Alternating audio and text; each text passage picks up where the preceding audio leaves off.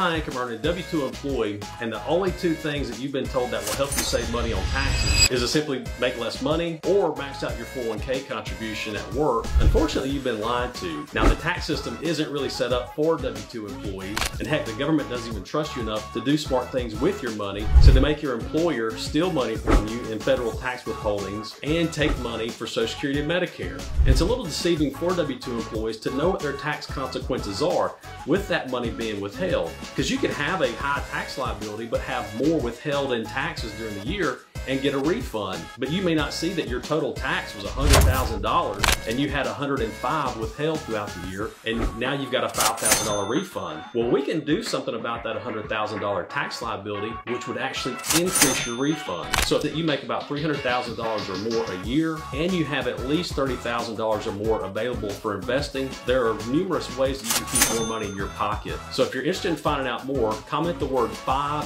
or the number five below and I'll send you my favorite top five tax strategies for high income earning W-2 employees.